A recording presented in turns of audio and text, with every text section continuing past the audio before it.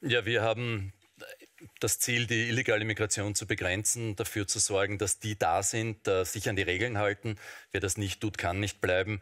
Aber dafür zu sorgen gleichzeitig, äh, dass die Menschen, die da sind, die Teil unserer Gesellschaft sind, die Möglichkeit bekommen, sich zu integrieren. Wir verlangen von denen etwas, verlangen Gegenleistungen dafür.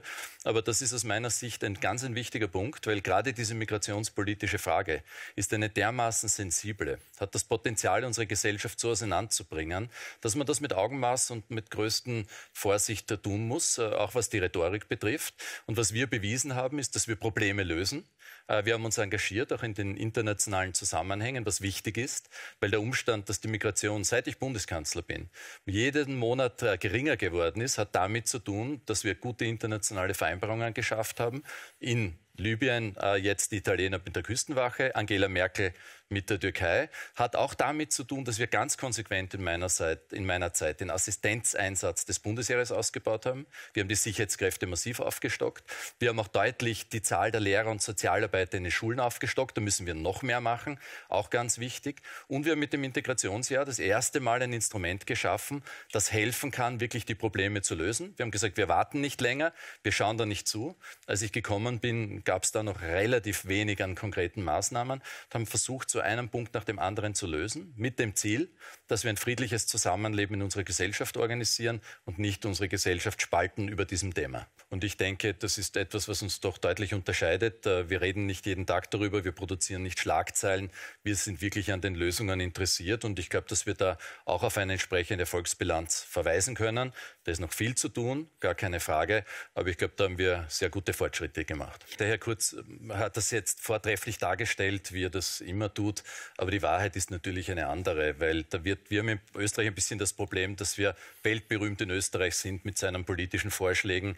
Die werden dann permanent diskutiert, in den Boulevardmedien großartig berichtet und jeder Knochen wird dort äh, brav apportiert. Nur die ganze Wahrheit ist, auf europäischer Ebene, ehrlich gesagt, ihr Einfluss war dort gar nicht zu spüren, sondern im mhm. Gegenteil, und das war auch der Grund für diese äh, Ausführung meinerseits, äh, es hat keinen Sinn, wenn wir internationale Ergebnisse produzieren müssen. Und dann kommt einer aus Österreich daher und erklärt den italienischen Nachbarn, was sie zu tun haben. Eins, zwei, drei, vier, fünf und sammelt alle Leute auf Lampedusa. Weil wissen Sie, wozu das geführt hat?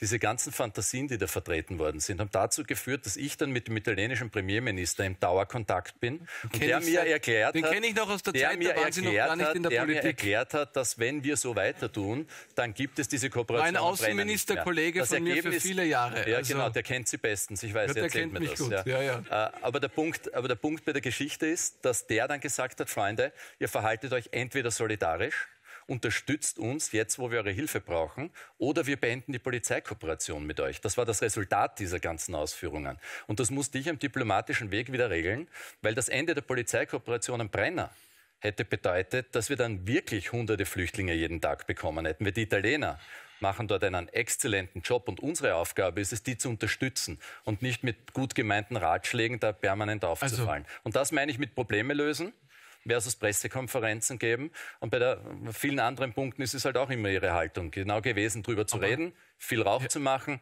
Die Problemlösung, die überlassen sie dann gerne anderen das Schaffen von 200.000 zusätzlichen Jobs. Das ist extrem wichtig, weil unser gesamtes soziales Sicherheitsnetz hängt daran. Wir geben heuer eine Milliarde Euro weniger für Pensionen aus, als wir ursprünglich gedacht haben, weil so viele Menschen wie noch nie in Beschäftigung sind. Das ist für uns ganz entscheidend. Äh, was wir jetzt erlebt haben, was wir erreicht haben in den letzten 16 Monaten, ist, dass wir wirklich einen massiven Aufschwung in Österreich haben, der auch durch die politischen Maßnahmen dieser Bundesregierung und der Vorgängerbundesregierung geschaffen worden ist. Und das ist das Ergebnis auch einer aktiven Wirtschaft Wirtschaftspolitik. Wir haben ganz konsequent investiert. Wir haben zusätzliche hunderte Millionen in die öffentliche Infrastruktur gegeben. Wir haben auch das Bündnis mit den Unternehmen gesucht. Wir haben massiv die Klein- und Mittelbetriebe unterstützt, die Start-ups, die Industrie, die investieren. Wir haben auch gleichzeitig Jobmaßnahmen gesetzt, nämlich gesagt, wir unterstützen alle Unternehmen, die Arbeitsplätze schaffen. So ist der Jobbonus entstanden und die Aktion für die plus 50-Jährigen. War eine lange Diskussion, musste die ÖVP mühsam überzeugt werden, ist dann auf unsere Linie eingeschwenkt, ist auch richtig, weil für 50-Jährige, die aus dem System fallen, die tun sich unglaublich schwer wieder in den Arbeitsmarkt zu kommen. Die muss man unterstützen. Und das Dritte, was wir auch getan haben, ist, dass wir ganz massiv in die Forschung äh, investieren, in der, indem wir die Forschungsprämie erhöhen.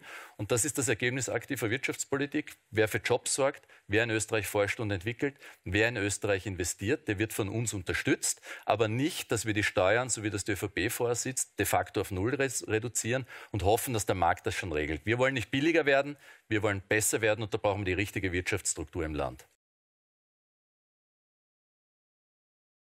Und auf der anderen Seite machen Sie einen Familienbonus, von dem Alleinerzieherinnen, die Teilzeit arbeiten, null und Nüsse profitieren. Und denen sagen Sie dann, holt euch doch das Geld, den Steuerbonus bei euren Ex-Männern. Wissen Sie, was die Realität in Österreich ist?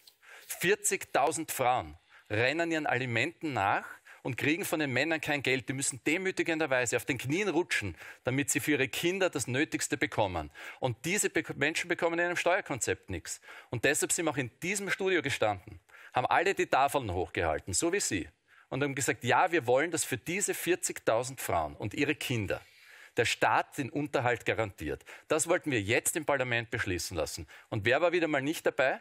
Die ÖVP. Und Sie sagen Meinungsänderungen. Sie ändern Ihre Meinung innerhalb von zehn Tagen, wenn es Ihnen nicht passt. Wenn dann der Wirtschaftsbund kommt und sagt, naja, lieber Freund, so geht es ja nicht. Du hast zwar ja den Tafel in die Höhe gehalten, aber hättest uns bitte vorher gefragt. So, niente. Aus mit der Maßnahme. Und das ist die Steuerpolitik, die ich nicht möchte. Weil das ist genauso wie bei Schwarz-Blau 1. Milch und Honig wird da versprochen.